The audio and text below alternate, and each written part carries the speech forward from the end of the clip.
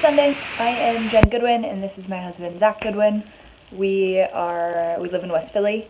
We do everything in West Philly these days. Um, we're part of the Chestnut Hill region, and we're here to welcome you. Yeah. So I think this morning, you know, we were asked to share something that I suppose like encouraged us during this time, uh, that helped us, I guess, make it through the day because you know, as we all know just with the pandemic and the economic fallout and the political social instability, the racism, the injustice that is just so incredibly prevalent in our faces in particular right now, um, I think it can just be really difficult for us, all of us, and I know for myself in particular, just to feel depressed. Um, and Jen and I lately have had some really great conversations with some of our black brothers and sisters um, just about their experiences and just getting to have really frank and open and honest conversations about race and about justice um, and about white privilege. And we've been so grateful for those conversations. We've been so grateful for just the body of Christ and helping us see what perhaps we wouldn't see on our own. Um, and, you know, that's been really encouraging. But to be honest, it can still be a challenge uh, just to be alive right now in 2020 and then just to be, you know, um, experiencing everything our society is going through. Um, you know, and frankly, it makes me think of 2 Timothy chapter 3. It says, But mark this, there will be terrible times in the last days. People will be lovers of themselves, lovers of money, boastful, proud, abusive, disobedient to their parents, ungrateful, unholy, without love, unforgiving, slanderous, without self control, brutal, not lovers of good, treacherous rash, conceited, lovers of pleasure rather than lovers of God, having a form of godliness but denying its power. And I, I feel like, man, I feel like in so many ways that describes our world, that describes so many people in our world. And to be honest, I see myself in that scripture. I see myself struggling with so many of those things.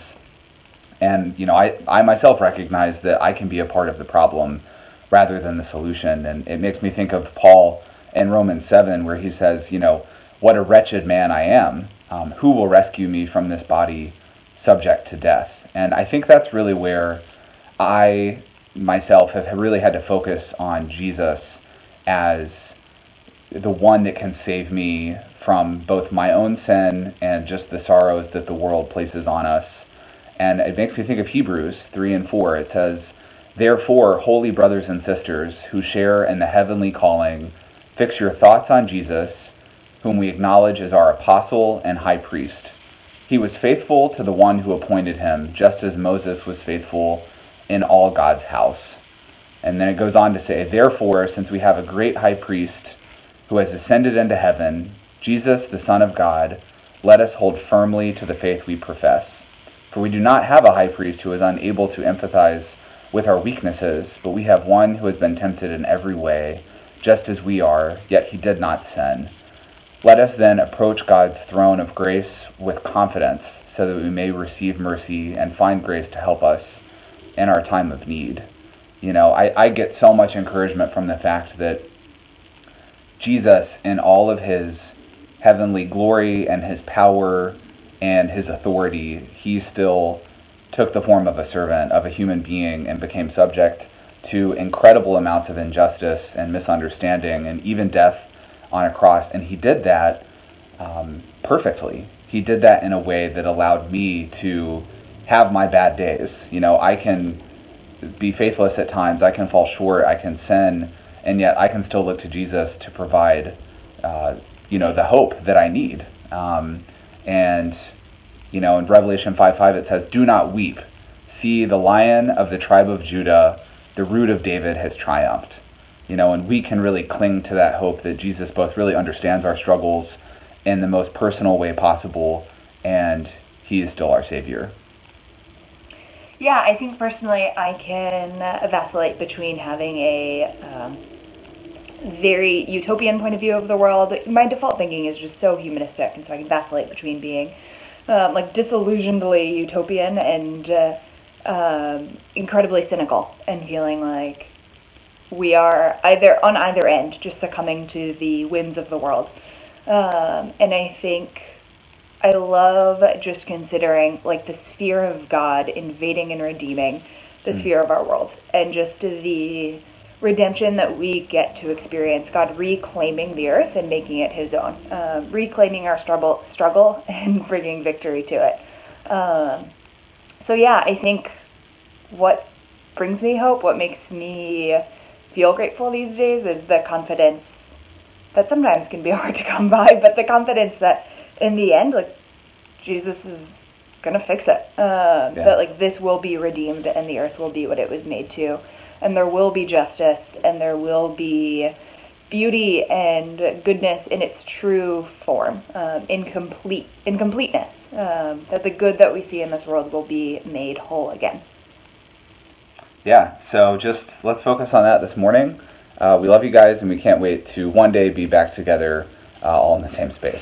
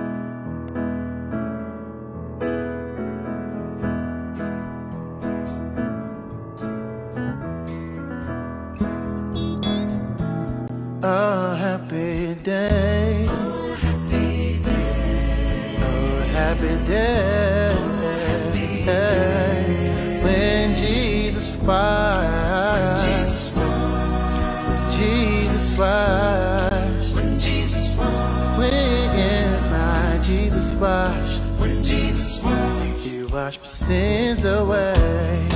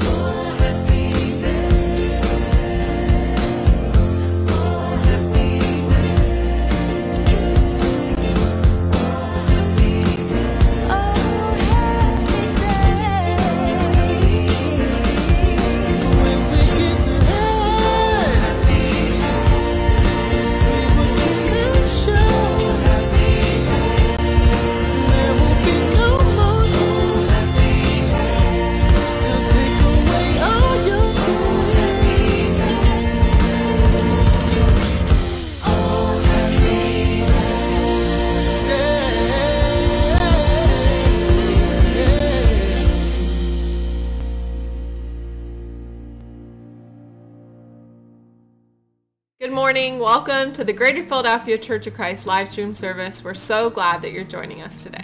Well, good morning.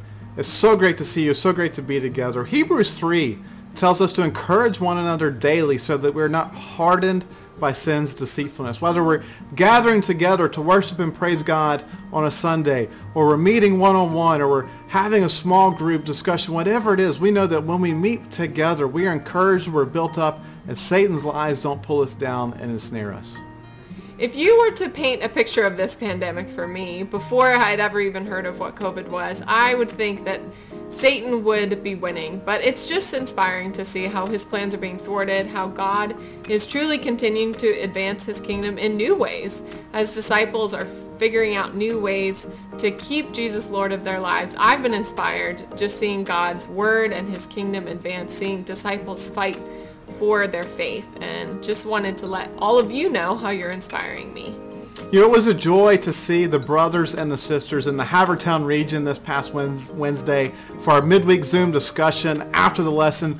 Boy, what a joy it was just to see everybody laugh, connect, and to share. You know, the brothers and the sisters in this church are phenomenal. To connect, to hear the stories, to hear what's going on. I look forward to so much more time connecting in this way in our regions, in our ministry. It means so, so much when we connect after these lessons. I just want to say I love you. I know all the other regions, you guys had a phenomenal time together as well. And we just want to praise God for all that he's doing, the connections that are growing. This Wednesday for our midweek classes, we will have a 7.30 Tough Biblical Text class as well as a women's devotional at 8 o'clock followed by um, regional women's discussion groups. Amen. Right now, we want to encourage you to stay safe, stay spiritual, stay in touch. Have a great service.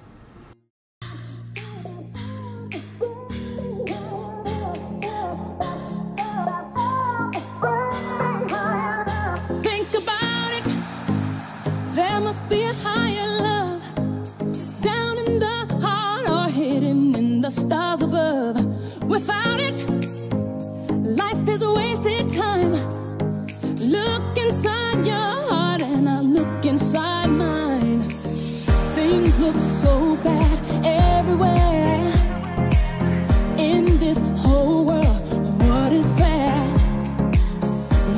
the line and try to see,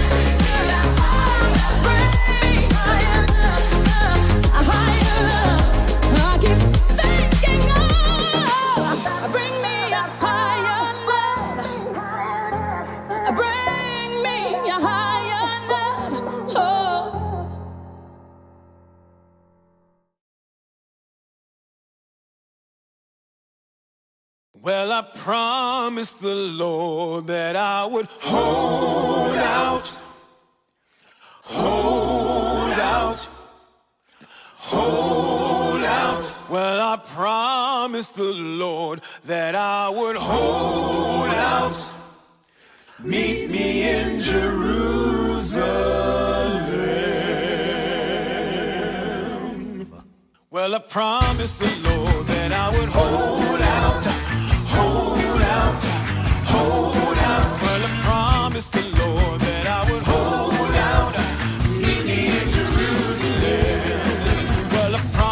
the Lord that I would persevere, persevere, persevere. Well, I promised the Lord that I would persevere, meeting in Jerusalem. Listen, oh my Lord, done what He said. Yes, He did. Oh yes, He did.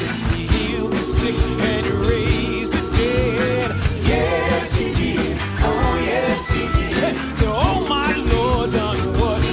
He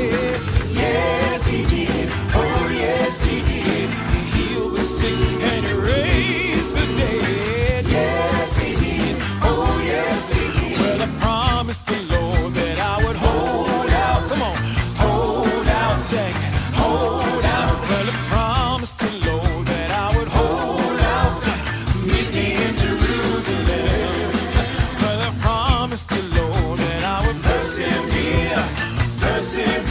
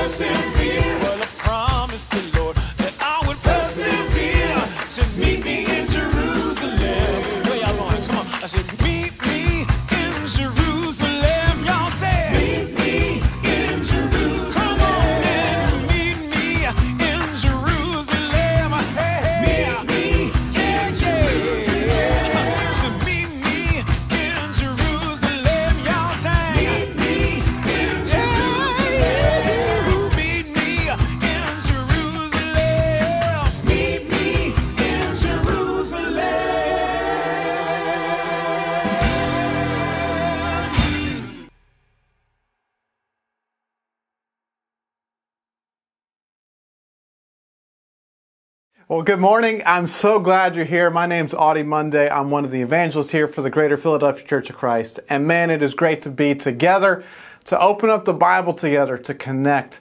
Before we get into any of the scriptures, we want to make sure we say a prayer. We'll jump into the scriptures. We've got a lot to talk about today, a lot that I'm excited to share, and then we'll get into it. Let's pray. Heavenly Father, God, we thank you so much for the chance that we have as a body to come together, to pray, to worship, to sing, to remember all that you've done for us. Remember that you gave your Son for us to give his life so that we could have life with you. God, you are incredibly merciful and gracious and kind. God, thank you so much for wanting to have this relationship that you have with us. God, we know that you are overseeing and you care about all of the challenges in the world, whether they be health, injustices around the world. God, we pray for Lebanon and the challenges that have happened there in the last couple of weeks. God, we know that there are so many tragedies around the world, and that, God, that you are moving, and God, that you are asking us to be compassionate and kind and to care. Help us to have the hearts that you want us to have. It's in Jesus' name we pray. Amen. Well, good morning again. and It is great to be together. Man, I, am so excited to uh, be able to open up the Bible, to connect with you, to share my life with you, to share some convictions with you this morning. Really, really excited about that. We're going to be continue on in the book of Mark, and we're going to be in Mark chapter 4 this morning. So get ready to dive on in and have a great time. And I do want to take a moment and just say a special thank you to Weldon Gibson for serving the youth and family ministry here in Philadelphia this summer. He did a phenomenal job reaching out to many, many teens, many, many families in the greater Philadelphia area. And he's had an incredible impact in the three months that he's been here. He's become a, a good friend, and um, I'm looking forward to more memories with him as well. And uh, if you see him, you hear from him, or he's around, just make sure you say thank you for his sacrifice to spend time with our teens this summer, to do an absolutely phenomenal job, and we're praying for that fruit to continue to last. Mark chapter 4, uh, that's where we're going to be today. And I want to start off with a short story about Tony Hightower. And, and, you don't know who Tony Hightower is, but he was a contestant on the game show Who Wants to Be a Millionaire? Tony Hightower won $250,000 on the game show. So he goes home, and a couple days later, a check for $250,000 arrives in the mail, and he takes it to the bank, and he takes it to the bank teller, and hands it to the teller, and the bank teller's a bit aghast and like, you won $250,000? Yeah, yeah, what'd you do? And well, I answered 12, 12 questions correctly. I made $228,300 per question. And that's what he did. And if you won $250,000, what would you do? You know, your life stage right now probably is going to affect your decision making and, and what's important to you. You know, maybe if you're a grandparent, you're thinking about the, the future education of your grandchildren or, or retirement or, or a legacy that you can leave. Or, or if you're on the front end of life, I can pay for college and not have debt and, and have money to, money to spare. I can, I can drive now to college uh, in a Porsche. This is going to be fantastic. You know, maybe, maybe those are some of your thoughts. I'm 37 years old. I've got a four year old and a two year old. I'm just trying to, to make ends meet month to month. Um, hopefully, squirrel some away for retirement. Hopefully, squirrel a little bit away for my kids' education and, and, and to uh, take care of my family along the way. So, $250,000 will be quite the cushion uh, for me at, at, this point. And, you know, we, we, we you know, it's nice to play that game. And I know some of you out there are thinking, oh, but there's going to be taxes to pay on that, and you got to pay it. You know, you're no fun. Just enjoy the $250,000, and yeah, you do need to save some for taxes along the way and whatever. But if you have $250,000, what, what would you do with it? We're going to come back to that in a little bit. Today we're talking about Mark chapter 4, the parable of the soils. You know, we've got four soils that Jesus tells in this parable. It's a classic parable, maybe maybe one that you, have heard before, but I, I, hope that this morning it, it lands on your heart and helps you to connect with God this morning. You know, there's four soils. There's first of all, there's the path. Secondly, there's the rocky soil. Thirdly, there's the thorny, weedy soil. And lastly, there is the good soil. And the, the good soil kind of gives it away that it's the soil that you want to be. But we're going to be looking, looking through this for a moment. Mark chapter 4, verse 1. Again, Jesus began to teach by the lake. The crowd that gathered around him was so large that he got into a boat and sat in it out on the lake. While all the people were along the shore at the water's edge, he taught them many things by parables, and in his teaching said, Listen, a farmer went out to sow his seed. As he was scattering the seed, some fell along the path, and the birds came and ate it up. Before we get into the, the deep depth of each of these soils, I want to talk about some general observations that are very, very important for us to understand the context of Mark chapter 4. Mark chapter 4 is the fourth chapter that we come across where Jesus is continuing to do his ministry in the countryside of the Galilee area.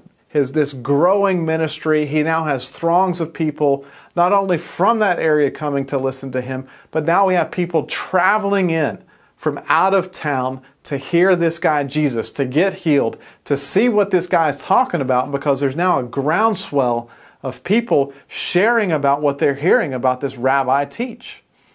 And as we think about Mark chapter 4, I think it's important for us to go back to Mark chapter 1 and verse 38. Because Mark chapter 4 and Mark chapter 1, verse 38 have some very, very important parallels.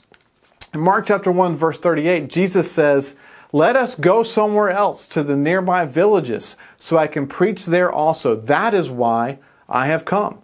So he traveled throughout Galilee, preaching in their synagogues and driving out demons.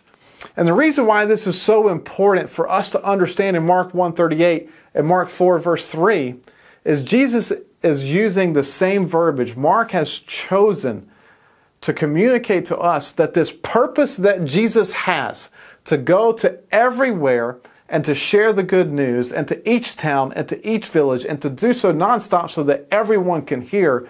It's the same Greek word that Mark uses for the farmer who spreads his seed. It's with the same intent that the sower is spreading so much seed so that everything would be covered, so that everything could be heard, so that all the soils would have a chance. It's a wider view as we consider Mark chapter 1, the beginning of Mark 4, and then the end of Mark 4.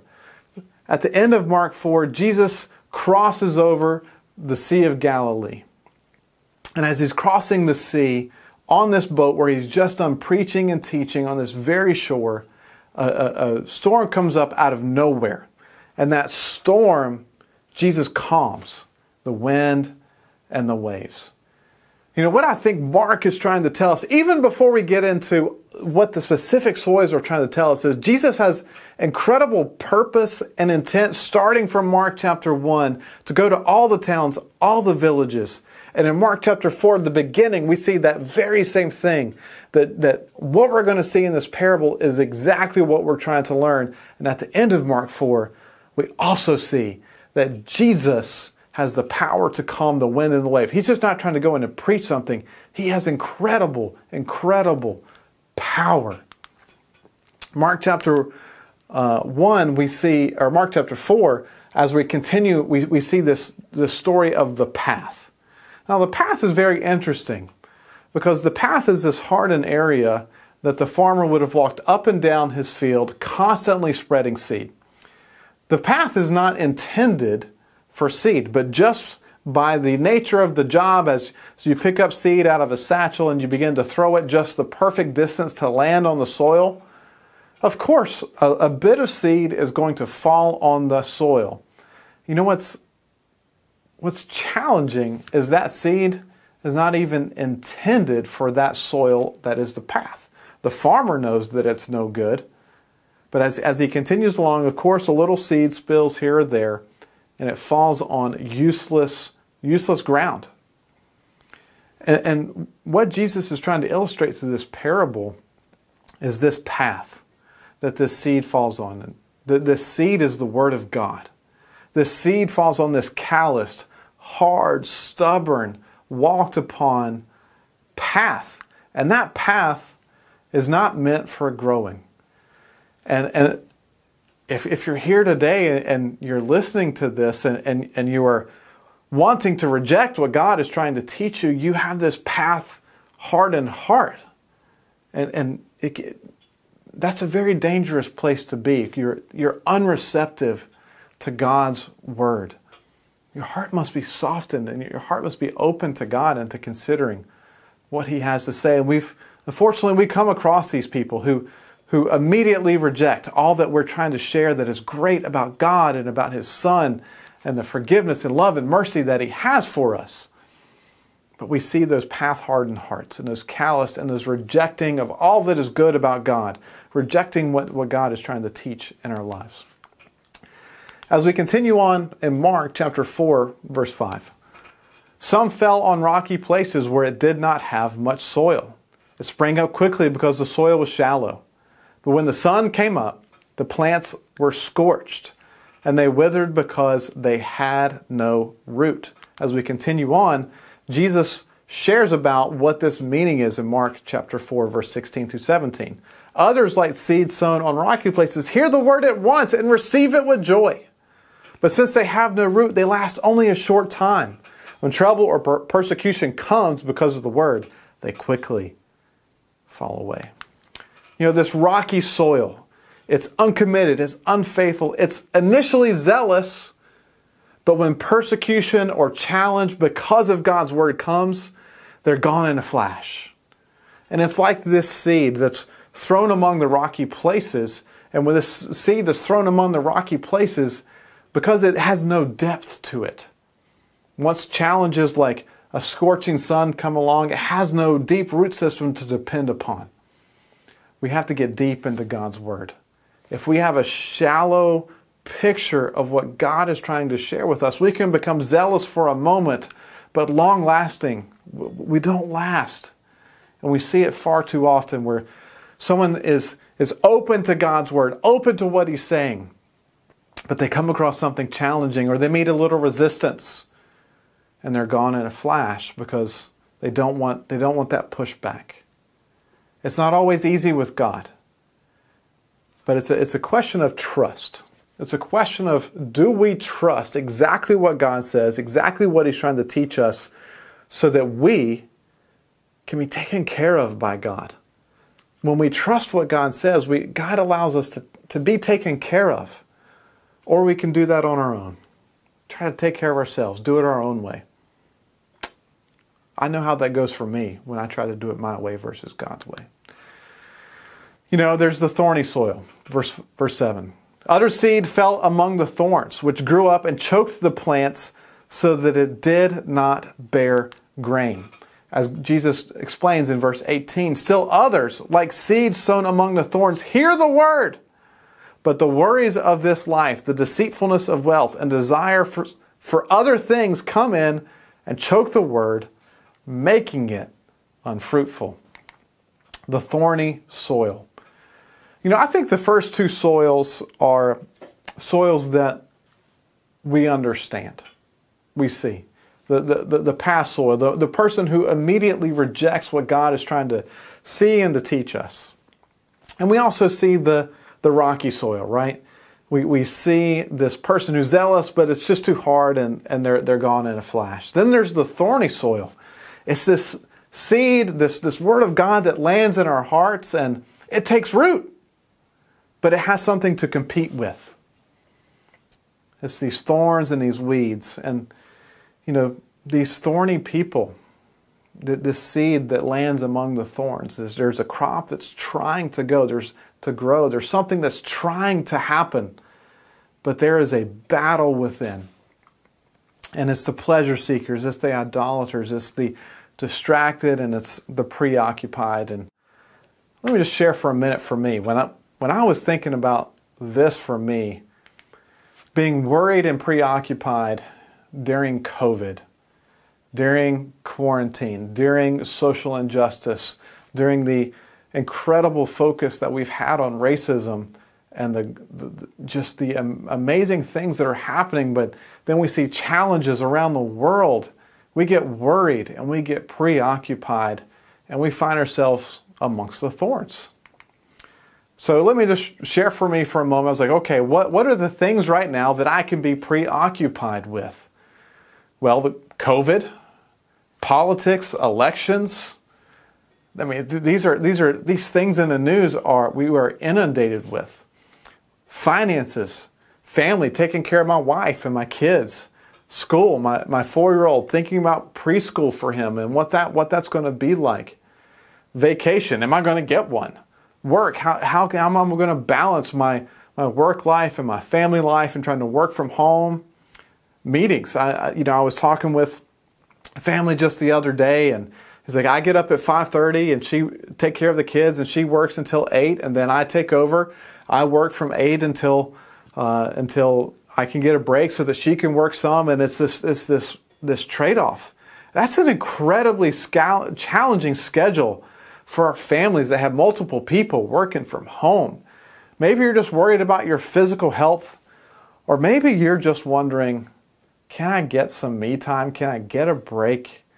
Can't like here's here's 10 things that took me 2 seconds to think about what can I be preoccupied with during during a day. And I think about the challenge about being in the thorny soil and being in the weeds right now. And those thorns and those weeds wanting to take over all that God is trying to produce in my life right now. It's, it's challenging, it's real, but we have to be just as intentional as Jesus in making sure that our soil is not, is not, it cannot be this soil that's Certainly we can't be the path. Certainly we can't be the rocks, but but we can choose to not be among the thorns either. And of course, there's the good soil. There's this there's this good soil that Mark that Mark chapter 4 verse 8 talks about, right? It's it's still other seed fell on good soil. It came up, grew and produced the crop, some multiplying 30, some 60, some 100 times what was sown. And Jesus goes on in Mark chapter 4 verse 20 to say other like seeds sown on good soil hear the word, accept it and produce a crop, some 30, some 60, some 100 times what was sown. It's the good soil. And obviously, the good soil is the one that, that God is calling us to be. It's the soft, it's the receiving soil. That once that word of God lands on that soil, the seed lands, it germinates, and it produces a crop 30, 60, 100 times what was sown. You think about that one seed that's, that's thrown. And if, and if it's wheat or corn or, or, whatever the, whatever the agricultural product may be, that one seed produces hundreds more seeds and produce than that, than that one seed than that was thrown. And I think about all that God is trying to do in our lives and in our hearts during, during this time. So there's four types of soils, right? We, we, we've, we've covered those, those four. There's the path, the unwilling soil. There's the, there's the rocky, zealous, but gone amongst trials.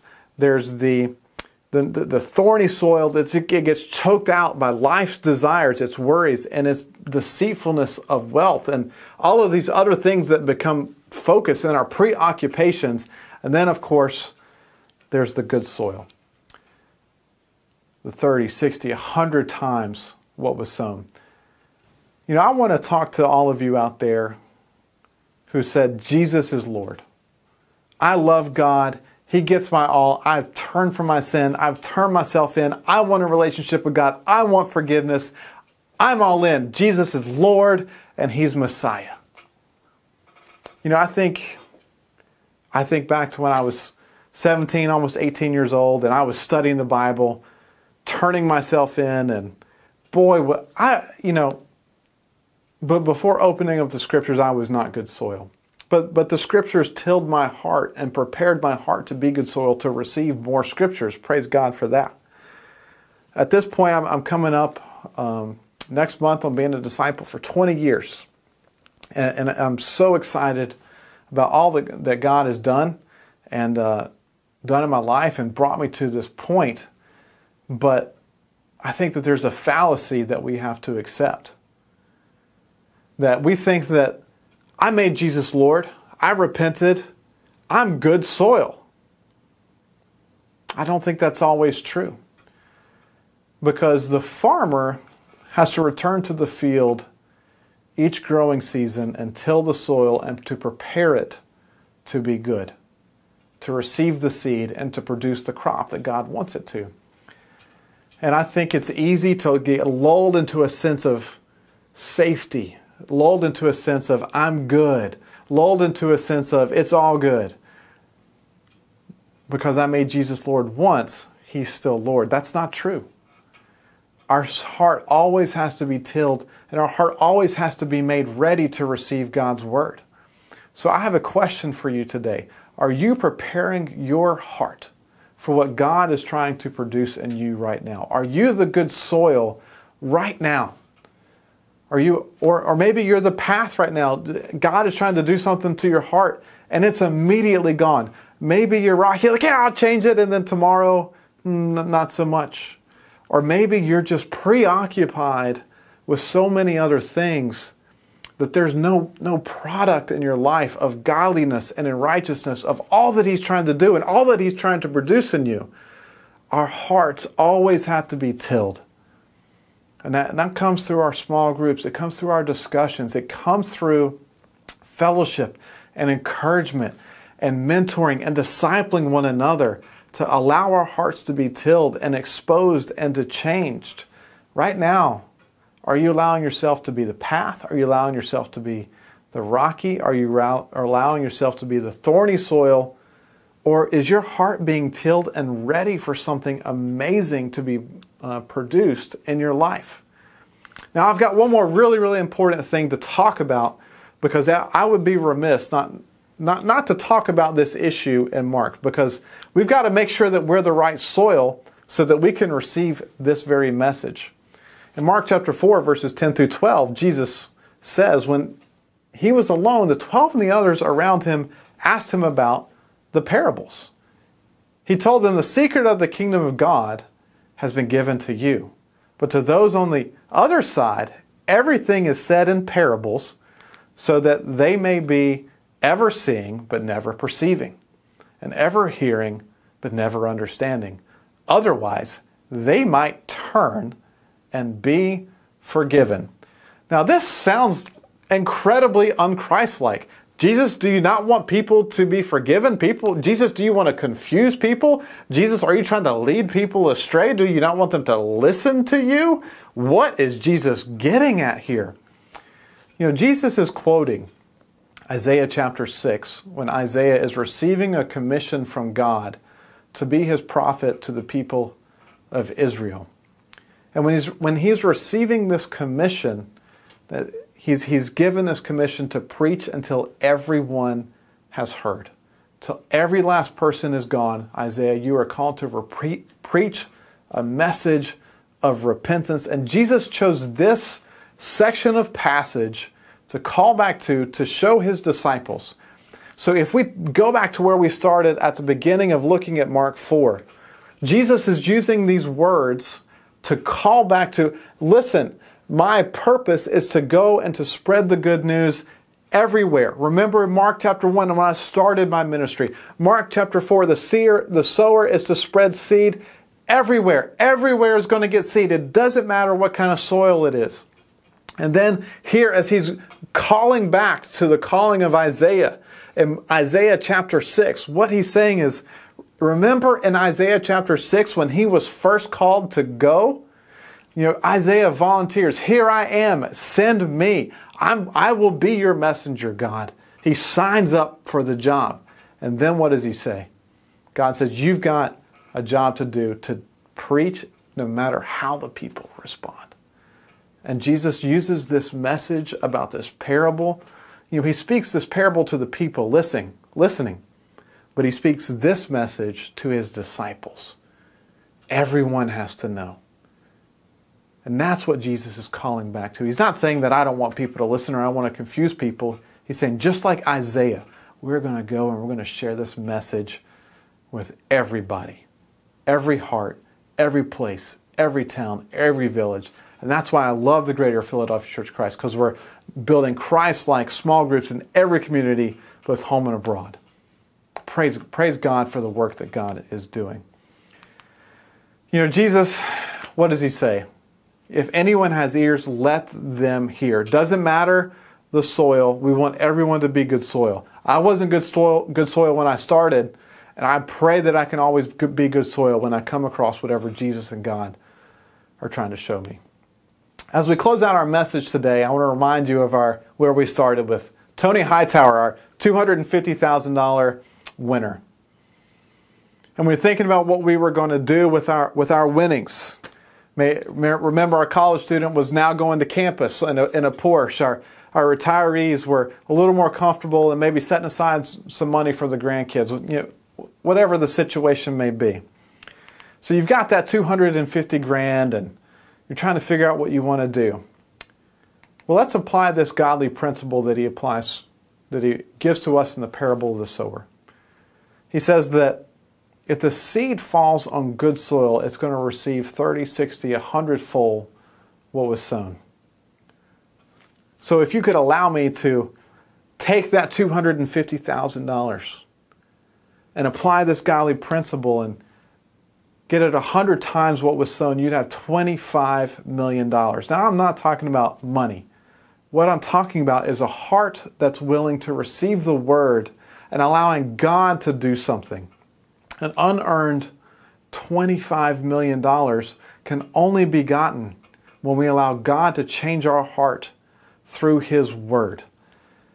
We've got to have good soil hearts. We've got to be willing to accept whatever comes our way to, to change our heart, to change our lives. So, those are some of the things, guys, I wanted to share with you from Mark chapter 4 today. You got to read your Bibles. There's so many beautiful things in there. Today, man, we see that Jesus has incredible intent and purpose to preach wherever he goes, goes and to not stop sharing, to make sure that all of the world has good hearts and is ready to hear him. To God be the glory. Love you guys.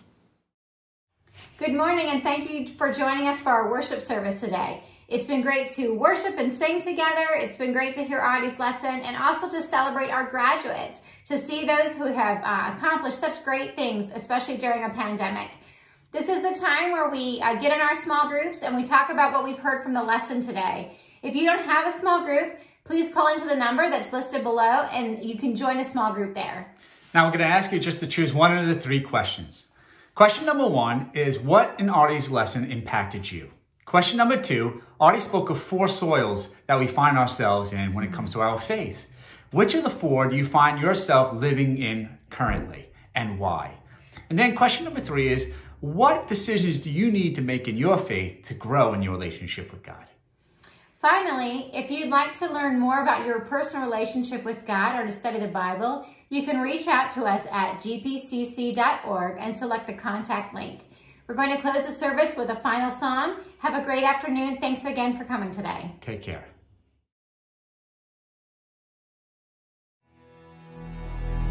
I hear God singing to me. Every nation must be saved.